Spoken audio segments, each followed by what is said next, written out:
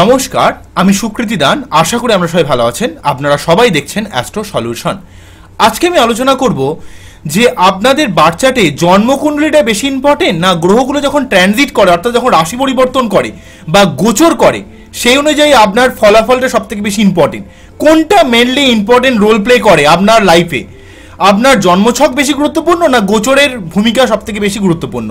কেননা অনেকে বলেন যে রাশিগুলোতে যেহেতু গ্রহগুলো পরপর রাশি পরিবর্তন করে, অর্থাৎ গ্রহগুলো যেহেতু স্থির থাকে না, তাহলে কি আপনার জন্মছকের পরিবর্তন ঘটে? আপনার জন্মছকে কি এফেক্ট ফেলে? অর্থাৎ সার্বিক অর্থে জন্মছক এবং গোচর কি একই জিনিস? বা জন্মছক বা গোচর আলাদা হলেও কতটা আপনাদের উপর এফেক্ট থাকে গোচরের উপর বা আপনার বাচ্চাদের উপর। এই নিয়ে একটা দীর্ঘ আলোচনা করে নেব। মূল আলোচনায় আসার আগে আপনাদের জানিয়ে রাখি অ্যাস্ট্রো সংক্রান্ত নিত্য টিপস পেতে আমার এই অ্যাস্ট্রো সলিউশন চ্যানেলটিকে সাবস্ক্রাইব করুন এবং পাশে থাকা বেল আইকনে ক্লিক করুন। চলে আসি মূল আলোচনায়। প্রথমেই বলব, একটা মানুষ যখন ভূমিষ্ঠ হচ্ছে, সেই ভূমিষ্ঠ হওয়ার জন্য জেনারেলিভাবে আমরা যেমন জানি, কোনো একটা পার্টিকুলার লোকেশনে কোনো একটা পার্টিকুলার স্থানে কিন্তু আমাদের একটা কোঅর্ডিনেট থাকে। অর্থাৎ কোঅর্ডিনেট মানে আমরা বুঝি হচ্ছে এক্স অ্যাক্সিস ওয়াই অ্যাক্সিস অর্থাৎ প্রতিটা জায়গার একটা করে স্থানাঙ্ক থাকে। যেমন ধরুন সাপোজ, উদাহরণস্বরূপ বলা যায় কলকাতার একটা স্থানাঙ্ক রয়েছে, তেমন আসামের গুয়াহাটি শহরে একটা স্থানাঙ্ক রয়েছে, আবার দিল্লির একটা স্থানাঙ্ক রয়েছে। এইভাবে প্রতিটা শহরে আলাদা করে স্থানাঙ্ক থাকে। ওকে? যেহেতু এক একটা স্থানাঙ্কর মধ্যে এক একটা এক্স ওয়াই এক্স অ্যাক্সিস বা ওয়াই অ্যাক্সিসের মধ্যে, এই কোঅর্ডিনেটের মধ্যে প্রতিটা শহরগুলো অবস্থান করে তাই আপনাদের জন্মছক বিচার করার জন্য দেখবেন আপনাদের অ্যাস্ট্রোলজাররা সবসময় আপনার ডেট অফ বার্থ অর্থাৎ আপনি যেই দিনে জন্মাচ্ছেন সেই পার্টিকুলার ডেটা কোন সময়ে জন্মাচ্ছেন, অর্থাৎ বার্থ টাইমটা নেওয়া হয়, ঠিক আছে? অর্থাৎ জন্ম সময়টা নেওয়া হয়, জন্ম তারিখটা নেওয়া হয়, এবং সেই সঙ্গে সঙ্গে জন্মস্থানটাও কিন্তু প্রচণ্ডভাবে ইম্পর্টেন্ট রোল প্লে করে। এইভাবে পাওয়ার পর দেখা হয় আলটিমেটলি আপনি যেই দিনে ভূমিষ্ঠ হচ্ছেন তখন গ্রহগুলো পৃথিবীর এক্সপেক্টে যেইভাবে অবস্থান করে, সেই সময়ে, অর্থাৎ আপনি যেদিনে ভূমিষ্ঠ হয়েছিলেন, সেই দিনে গ্রহগুলো পৃথিবীর এক্সপেক্টে সেই পার্টিকুলার জায়গাটা, সেই পার্টিকুলার সময়ে, সেই পার্টিকুলার ডেটেতে অর্থাৎ সেই তারিখে, সেই সময়ে, সেই পার্টিকুলার আমি যে স্থানে, সেই কোঅর্ডিনেটে কিন্তু গ্রহগুলো পৃথিবীর এক্সপেক্টে ওইখানে অবস্থান করছিল, গোচরে। সেটাই কিন্তু তখনই আপনার সেই গোচর থাকাকালীন যে সময়কালে, সেই সময় যে গ্রহগুলো অবস্থান, সেই অনুযায়ী কিন্তু আপনার লগ্ন নির্ধারণ হয়ে যায় এবং লগ্নের এক্সপেক্টে প্রতিটা গ্রহগুলো কোন কোন অবস্থায় রয়েছে, অর্থাৎ দ্বিতীয়ভাবে কি রয়েছে, তৃতীয়ভাবে কি রয়েছে, সপ্তমভাবে কি রয়েছে, অষ্টমভাবে কি রয়েছে, দ্বাদশভাবে কি রয়েছে, এই বারোখানা ঘরে কি কি গ্রহ রয়েছে, আপনার জন্মকালীন সময়ে গ্রহগুলো, আপনার পার্টিকুলার যেই জন্মস্থান, সেই স্থানের কোঅর্ডিনেটের এক্সপেক্টে বা সেই লগ্নের এক্সপেক্টে যা গোচরে সেই সময় অবস্থান করছিল সেটা হচ্ছে আপনার বার্থ চার্ট হয়ে গেল। সেই যে পার্টিকুলার সেই সময়ে, আপনার জন্মকালীন সময়ে সেই পার্টিকুলার স্থানের যে গ্রহর অবস্থান, সেই সময়ের যে গোচরের যে গ্রহগুলোর অবস্থান, সেটাই হলো হয়ে গেল হচ্ছে আপনার বার্থ চার্ট। সেটা কিন্তু আর কখনো ফিক্সড হবে, সেটা কিন্তু কখনো পরিবর্তন হবে না, সেটা কিন্তু ফিক্স থেকে যাবে।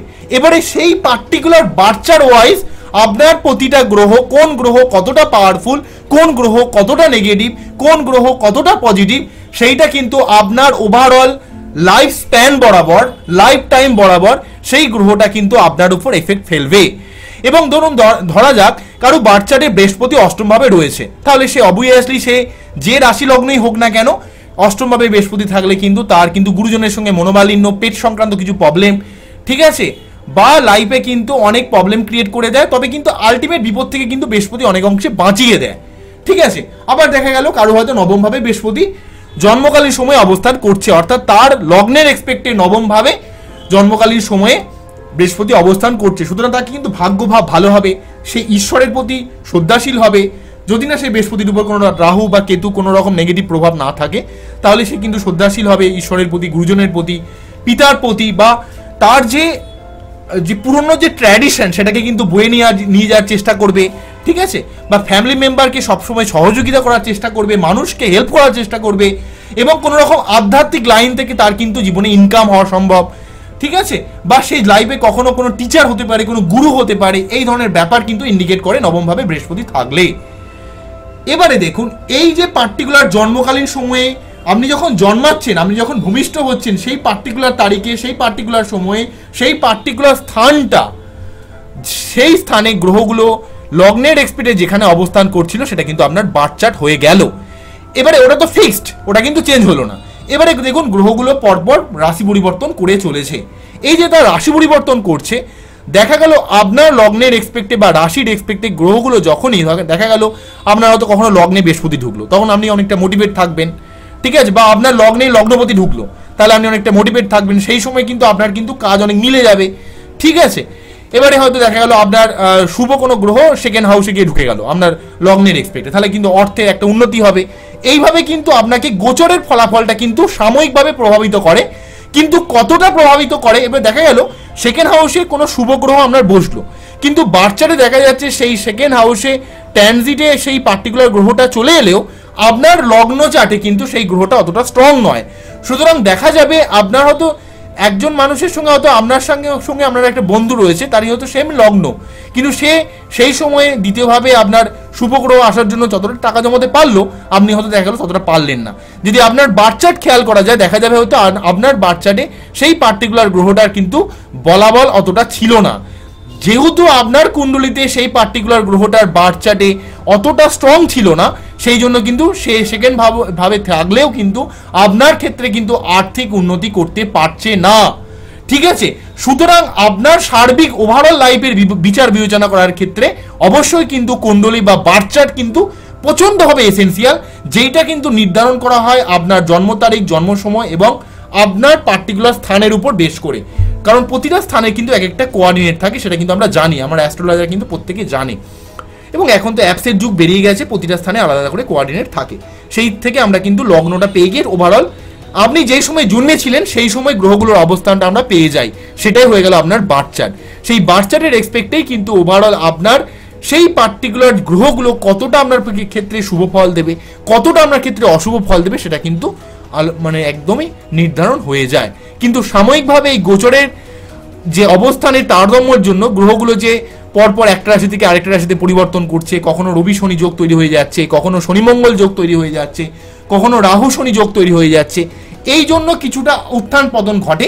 হয়তো দেখা গেল আপনার বাচ্চাতে যে নেগেটিভ যোগটা চলছে, হয়তো দেখা গেল আপনার বাচ্চাতে হয়তো শনি রবি যোগ রয়েছে এবং গোচরে তখন কিন্তু অলরেডি শনি রবি যোগ কিন্তু চলছে। তাহলে সেই সময় কিন্তু আপনার প্রবলেমটা অনেক গুণে বেড়ে যাবে।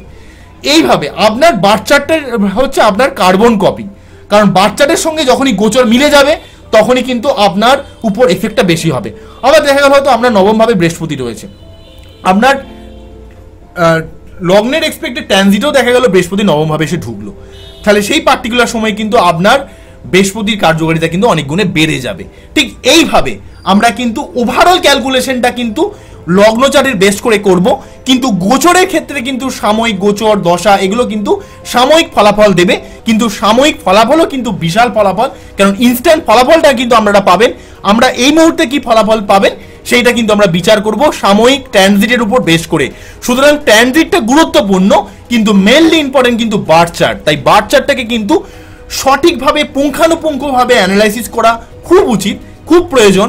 কেননা পার্টিকুলারলি আপনি ট্রানজিটে কতটা শুভ ফল পাবেন, কতটা নেগেটিভ হলে কতটা নেগেটিভ পাবেন, সেটা কিন্তু ওভারঅল নির্ভর করবে আপনার পার্টিকুলার ওই বার চার্টটার উপর বেস করে।